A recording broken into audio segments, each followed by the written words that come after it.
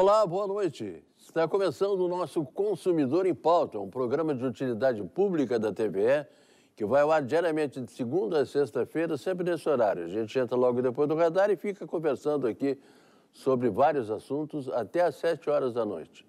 E esses vários assuntos é, são direito do consumidor, direito do trabalho, direito de família, direito previdenciário e direito imobiliário. São os assuntos que nós tratamos aqui no programa e sobre os quais vocês podem perguntar.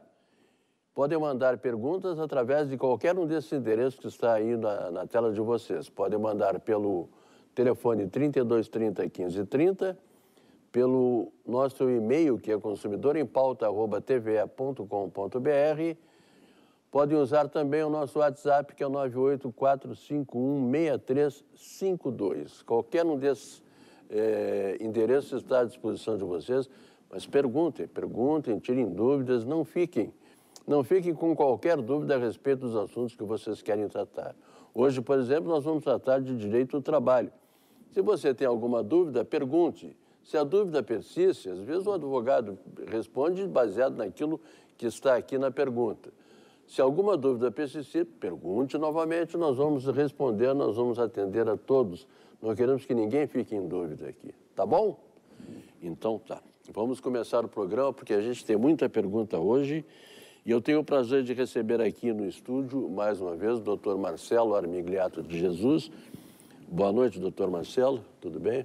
Boa noite, Machado, tudo bem, tudo certo. Boa noite, doutor Rodrigo. Tudo Muito certo. obrigado pela homenagem de ontem. Eu sei que o doutor Marcelo foi um dos cabeças. Justa e merecida, Machado, Muito justa e merecida. E mais uma vez eu tenho o prazer de receber aqui no estúdio é, o doutor Rodrigo de Almeida, que é juiz do trabalho. Boa noite, doutor Rodrigo, tudo bem? Boa noite, Machado. Boa noite, doutor Marcelo. Noite. Eu que agradeço o convite, o prazer é todo meu. Que bom, então. Perguntei para o doutor Rodrigo, o doutor Rodrigo é juiz lá em São Leopoldo. Eu perguntei para ele se estava muito frio lá. Ele disse, não, está mais ou menos. Eu acho que o doutor Rodrigo deve ter alguma descendência lá para o São Gabriel, porque em São Gabriel a gente não sente frio nunca. Mas é por aí, né?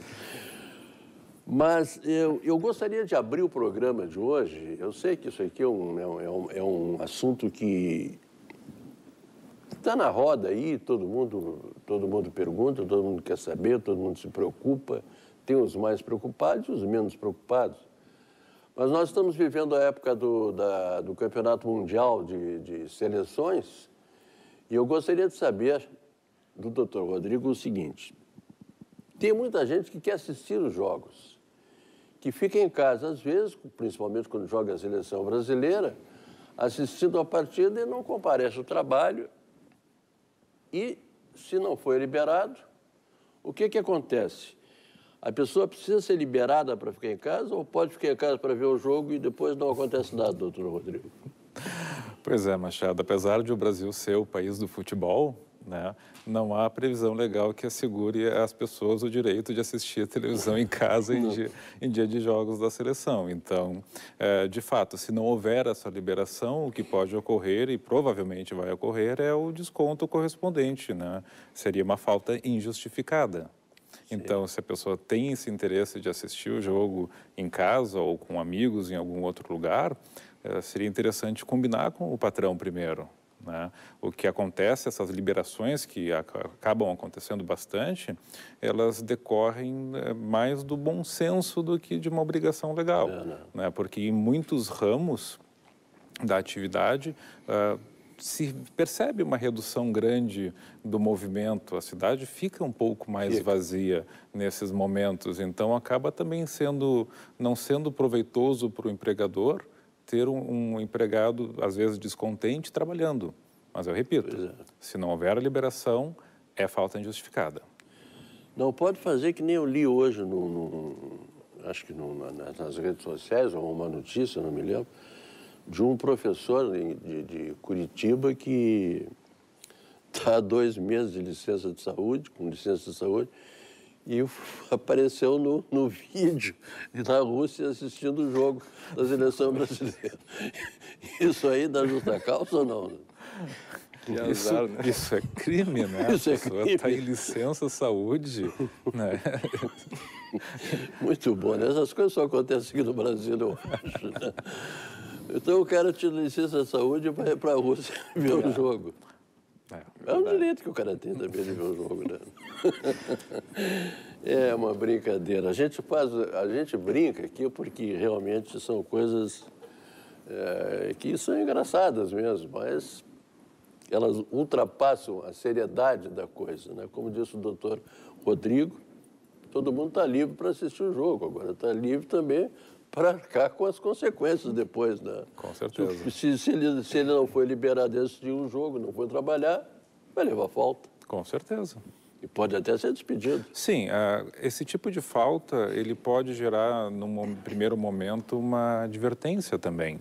Né? Se é uma pessoa que já tem diversas faltas, pode levar a uma suspensão. Se é uma pessoa que já teve suspensão, eventualmente, pode chegar a uma justa causa. Especialmente alguns ramos mais sensíveis, né? É. Tipo na saúde, por exemplo. É, é a, a, a, pelo que eu sei também, a prefeitura aqui de Porto Alegre liberou os horários, fez horários diferentes, mas ressalvou os, os serviços de utilidade que não pode parar, né? Ninguém pode fechar um posto de saúde, por exemplo, um hospital para assistir um jogo, né? Com certeza. Pode até assistir, mas devagar, com as, no andor, né, que o santo é de barro. Bom, feita a pergunta inicial aqui para o doutor Rodrigo, eu vou partir para as perguntas normais que chegam para o programa. E a primeira que eu vou fazer é para o doutor Marcelo.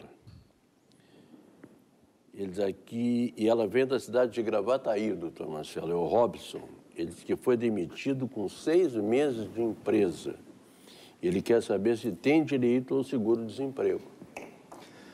Boa noite, Robson.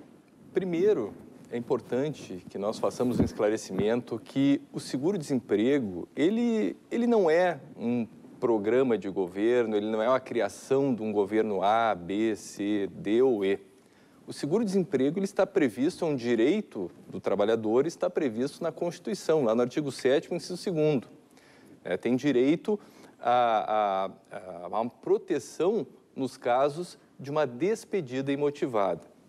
O seguro-desemprego, Machado, ele sofreu uh, uma alteração em 2015. Como é que funcionava antes?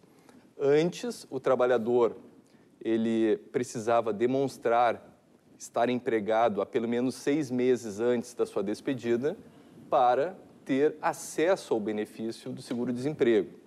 Isso foi assim até 2015. Aí nós tivemos uma alteração legislativa que modificou os requisitos, principalmente para o primeiro encaminhamento e para o segundo encaminhamento do seguro-desemprego. Para o primeiro encaminhamento do seguro-desemprego, o trabalhador a partir de 2015, então ele terá que comprovar ter recebido salário em 12, do, pelo menos em 12 dos últimos 18 meses. E esses 12 meses, ele, eles não precisam ser na mesma empresa. Eu posso ter trabalhado seis meses numa empresa, três meses no outra e três meses em outra. O importante é que o trabalhador comprove ter trabalhado, ter recebido salário durante 12 meses nos últimos 18. Se foi esse o caso da, do nosso telespectador, se foi esse primeiro encaminhamento o caso dele, portanto, ele não terá direito ao seguro-desemprego, porque ele só tem seis meses. Uh, para o segundo encaminhamento, Machado, é preciso, o trabalhador precisa comprovar ter trabalhado durante nove meses nos últimos doze. E da mesma forma, ele vai poder unir períodos de trabalho em outras empresas, em várias empresas. Não precisa ser todo o período na mesma empresa. Se foi o segundo encaminhamento do nosso telespectador, ele também não terá direito ao seguro-desemprego. Agora, a partir do terceiro encaminhamento, as coisas ficam como eram antes. Ou seja, o trabalhador, a partir do terceiro encaminhamento do benefício, ele vai precisar comprovar ter trabalhado no, eh, nos seis meses imediatamente anteriores à sua dispensa, o que parece ser o caso do nosso telespectador. Então, se é o primeiro encaminhamento dele, não vai ter direito. Se for o segundo encaminhamento, também não. Se foi o terceiro encaminhamento, aí sim o Robson terá direito, terá acesso ao seguro-desemprego. Doutor Rodrigo, essa pergunta vem lá da cidade de Viamão e é, o telespectador é o André. Ele disse que trabalha como caixa de banco. Recebo função gratificada, mas não recebo quebra de caixa. Existem ações trabalhistas que buscam essa diferença. Devo entrar na justiça pleiteando isso? Ele quer saber se ele deve pleitear a quebra de caixa que ele não ganha. Certo.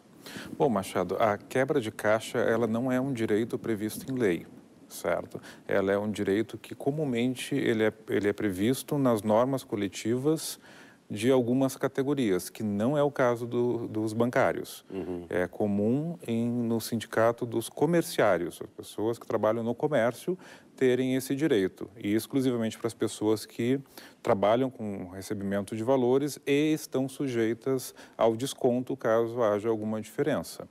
Então, ele sendo bancário, me parece que não é o caso de buscar o, a percepção desse, dessa parcela. É, quebra de caixa, para quem não. Acho que todo mundo sabe o que, que é, mas para quem não sabe, é quando sobra dinheiro ou quando falta dinheiro no caixa. Quebra de caixa Mais é um adicional, isso. certo? Que é previsto na norma coletiva, então não tem um valor fixo, pode ser um percentual do próprio salário, pode ser um valor fixo, que é pago todo mês para os funcionários que trabalham com, nessa atividade. O que, que acontece é que é uma pessoa que recebe e entrega um produto. Né? Recebe o valor, dá o troco, entrega o produto e acontece, infelizmente claro. acontece, ninguém está livre disso, de dar algum troco a mais e faltar dinheiro no caixa, certo? E o que, que acontece? Daí, nesse caso, o empregador desconta do, esses do valores do que faltaram do salário da pessoa no final do mês. Tá certo. Por isso que ela recebe esse adicional de quebra de caixa. Doutor Marcelo Armigliato de Jesus, a dona Eli Maria, aqui de Porto Alegre. Tive uma sentença favorável em uma ação contra a empresa que eu trabalhava no valor de 3 mil reais. Porém, a advogada só me repassou 150 reais. O que eu posso fazer para receber o meu dinheiro? Acontece isso, doutor Marcelo?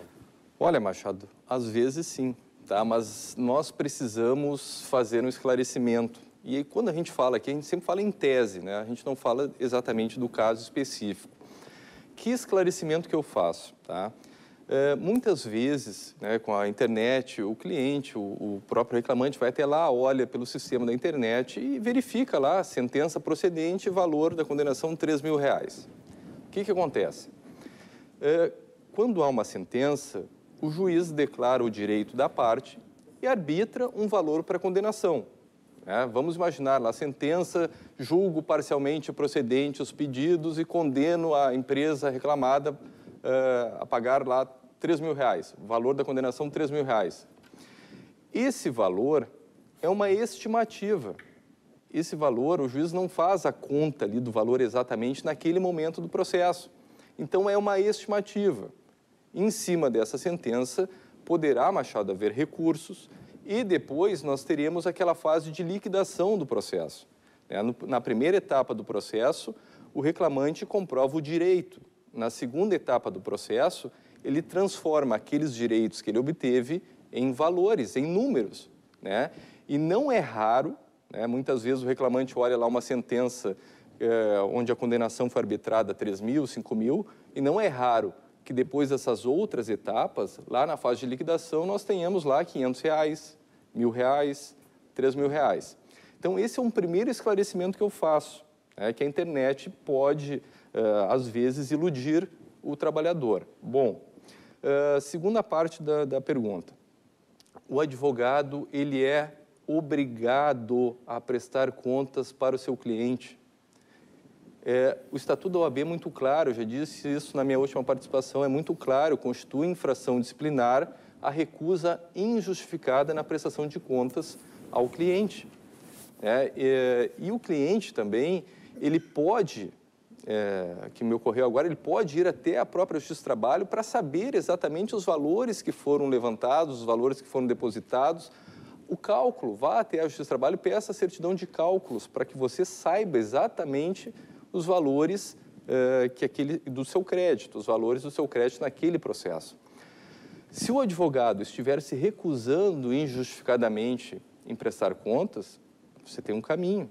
Né? Formalize um pedido por e-mail, uma notificação, um WhatsApp, e depois vá até a Ordem dos Advogados do Brasil, aqui em Porto Alegre, na Washington Luiz, 1110, Tribunal de Ética no nono andar, e encaminhe lá uma representação contra esse profissional que está se recusando em prestar contas do seu processo. Concomitantemente a isso, você pode ingressar com uma ação também de prestação de contas, que agora o nome é ação de exigir contas, contra esse advogado. E esses procedimentos, Machado, eles servem para todo e qualquer telespectador que esteja numa situação parecida, que esteja desconfiado de algo. O processo é público. É, como eu disse anteriormente, vá até a Justiça do Trabalho, lá tem um setor, aqui em Porto Alegre tem um setor de atendimento ao público, peça para olhar o seu processo, peça os cálculos do seu processo, peça cópia dos alvarás que foram sacados no seu processo. É, o processo é público, Machado. Doutor Marcelo, Pois é. se Pois me não. permite? Claro. O senhor está absolutamente correto nas suas colocações, mas o que me chamou a atenção na, na pergunta é que ele faz referência a um valor colocado na sentença. Né? E eu fico pensando, será que os 3 mil reais foram efetivamente pagos pela, pela empresa? E, de repente, o que aconteceu Pois é. foi justamente isso. Não se conseguiu executar, ah, não se conseguiu, conseguiu cobrar a totalidade do valor devido, mesmo que o valor devido possa ser maior. Pode ser que realmente seja menor o valor devido, esteja esse, seja todo o valor devido para ele, mas pode ser que isso seja só o que se conseguiu cobrar. Exatamente. Né? Muito Então- bem colocado. Pode ser que o processo não tenha chegado ao seu fim ainda. Né? Acho que caberia primeiro questionar para o advogado por que, que esse valor é distoante do valor da sentença. O melhor seria, então, que a dona Eli Maria pedi- perguntasse lá e tratasse de saber exatamente o que, é que ela tem direito, né? De- Antes de acusar as pessoas. Não estou dizendo que ela esteja acusando alguém, ela só quer receber o dinheiro dela, mas então procure saber que valor ela tem direito mesmo a receber. Doutor Rodrigo, tem uma pergunta aqui de uma estagiária, é a Paula, aqui de Porto Alegre. Ela disse que fez um estágio remunerado e foi desligada em menos de fechar um mês. Não me foi dado nenhum documento de desligamento. Ainda não recebi nada.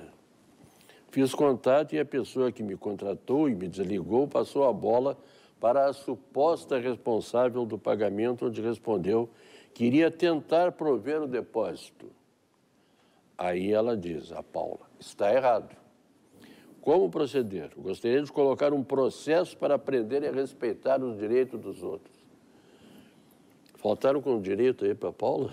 Não, com certeza. Se o estágio era remunerado, né, ela tem direito à remuneração correspondente aos dias que ela trabalhou, mesmo que não tenha Claro. completado um mês. O que ela pode fazer, se efetivamente achar que não vale a pena continuar tratando diretamente com a empresa, e eu digo isso porque entrar com o processo também é um procedimento demorado, e depois que ela entrar com a, a- a ação, a empresa dificilmente vai espontaneamente fazer esse pagamento, o que ela pode fazer é, em primeiro lugar, procurar um advogado. Né? Eu sempre recomendo que as pessoas procurem um advogado, por mais que na Justiça do Trabalho isso não seja estritamente necessário, porque com isso as pessoas têm mais segurança de o acompanhamento melhor e alguém dedicado que possa dar as explicações necessárias. Se ela não arranjar algum advogado ou não quiser fazer esse pagamento, que a gente sabe que ocorre também, né? Ah, e sendo também o pedido dela tão limitado assim, ela só quer a remuneração daqueles dias, que é algo fácil de calcular, o que ela pode fazer é procurar diretamente o foro trabalhista, há um setor onde ela pode, ela levando os seus documentos, os documentos do estágio e os documentos pessoais dela, ela pode explicar a situação e esclarecer para o servidor que lá se encontra o que, que ela pretende, né, esses dias trabalhados. Isso vai ser eh, transformado numa petição inicial e vai o, o processo ocorrer na, na Justiça do Trabalho como se fosse um processo normal. É um processo normal. Ela não tem a necessidade de ter um advogado. Ela vai ter a mais dificuldade para fazer o acompanhamento, em especial porque o processo é eletrônico. Então, repito, no primeiro momento, o ideal seria procurar um advogado. Tomara que dê tudo certo aí, que pegue esse dinheiro de uma vez aí, o, Paula, tá? Porque às vezes, é, quem sabe, né? Um entendimento, uma boa conversa, de repente resolve tudo. Doutor Marcelo, o Augusto mora na cidade de Charqueadas. E ele gostaria de pedir demissão da empresa onde trabalha, já que ele recebeu uma oferta de um emprego melhor. Ele diz o seguinte: ele pergunta, posso saber se pedindo demissão perco muito com as novas regras trabalhistas? É, boa noite, Augusto. A reforma trabalhista ela não alterou né, as parcelas a serem pagas no pedido de demissão. É, então, aquilo que tu vai perder, tu perderia antes ou agora com a reforma trabalhista. Tá? O que, que acontece? É, quando o empregado se demite, ele não vai ter acesso ao seguro-desemprego, ele não vai receber a multa de 40% do fundo. Ele vai receber o 13º proporcional, vai receber férias proporcionais, férias vencidas, se for o caso, e saldo de salário. A polêmica é no aviso prévio. Tá? No aviso prévio, ele, o aviso prévio é uma obrigação, é um direito e uma obrigação ao mesmo tempo de, de ambas as partes, tanto do trabalhador quanto do empregador. É, a regra geral é que, se o trabalhador pedir para se desligar da empresa, ele deve comunicar com antecedência e cumprir o prazo do aviso. Essa é a regra geral. Agora, ele nos traz uma informação na pergunta muito importante, que é o fato de ele ter conseguido um novo emprego. A pessoa que consegue, o trabalhador que consegue um novo emprego, ele tem aquilo que a jurisprudência chama de um justo motivo. E aí ele fica desobrigado de cumprir e até mesmo de pagar, ele não poderá ser descontado o aviso prévio. Então, esse nosso telespectador, o Augusto, ele vai ter direito a saldo de salário, 13º proporcional, férias proporcionais, férias vencidas, se for o caso. Ele não vai precisar indenizar e nem cumprir o aviso prévio e ele não terá direito à multa de 40% do fundo de garantia. Doutor Rodrigo, o, olha aqui, a gente já falou de, desse assunto aqui no começo do programa. O Marcos, que mora também em Viamão, ele quer saber o seguinte: qual percentual a empresa em que trabalho pode descontar por uma falta sem justificativa? Não é para ver o jogo do Brasil também, pois né? É, ver quem está pensando nisso. Certo. Bom, uh, se ele recebe por mês, seria o correspondente a um dia de trabalho. Então, ele pega o salário dele, divide por 30, esse é o valor do salário do dia que vai ser descontado a título de falta. Além disso, ele perde o direito naquela semana ao repouso semanal remunerado. Então, isso também corresponde a um dia de salário. Então, seriam dois trintaavos do salário dele, dá 6,66%, já que a dúvida dele é percentual. Além disso, também existe uma outra situação que é conforme o número de faltas que ele tiver, ele pode acabar tendo o número de dias de férias a que ele tem direito reduzido. Conforme a pessoa tem, ah, a partir de seis faltas, se eu não me engano, no período aquisitivo, o período em que ele está ganhando o direito às férias, certo? Que se completa com 12 meses, se ele tiver a partir de seis faltas, o número de dias de férias que ele vai ter vai começar a ser reduzido vai ser de 30 para 24, eventualmente 18, 12, e se ele tiver mais de 33 dias de férias ao longo desse ano, ele pode não ter direito a nenhum dia de férias, sem falar nas penalidades que ele pode sofrer. Então, eventualmente, se ele já tem advertências, com essa falta ele pode receber uma suspensão. Durante a suspensão, ele não trabalha e não recebe salário. Então. Então, Marcos, Pensa bem, se não é melhor levar um radinho para o escritório e ouvir o jogo. Nós estamos chegando ao final do programa, mas eu não posso me furtar de fazer uma pergunta ao doutor Rodrigo. É, o Brasil joga na sexta-feira, às 9 horas da manhã. Tem audiência nesse horário, doutor? Usualmente, a sexta-feira não é um dia em que ocorram, é um ocorrem audiências, porque a atividade jurisdicional e também dos advogados, ela não se limita a fazer as ah, tá. audiências. Não, isso é uma brincadeira que eu estou fazendo com o doutor. Aí. Mas acontece bastante de a gente ter algum né? tipo de dificuldade, como, por exemplo, a greve dos caminhoneiros, né, que acarretou inúmeros transtornos. Nós precisamos remarcar as audiências temos a é. sexta-feira disponível para então, isso. Tá Mas no caso do Jogo do Brasil, nós já temos uma previsão já normativa previsão. aqui para que não ocorram audiências tá bom, então. Bom, chegamos ao final de mais um Consumidor em Pauta, que hoje tratou de direito do trabalho. Tive um prazer muito grande de conversar aqui com o doutor Marcelo Armigliati Jesus e com o juiz do trabalho, Rodrigo de Almeida, que hoje nos renovou a alegria da presença. Muito obrigado pela presença dos dois, muito boa noite. Que agradeço. Voltem sempre. Obrigado. E leve a nossa caneca de presente aí, doutor. Tá? Muito obrigado. Lembrando a vocês que logo após o programa vocês vão ficar com o cenário econômico e amanhã eu volto para tratar de direito imobiliário e comigo estará o doutor Henrique Robaina. A todos vocês muito obrigado, muito boa noite e até lá.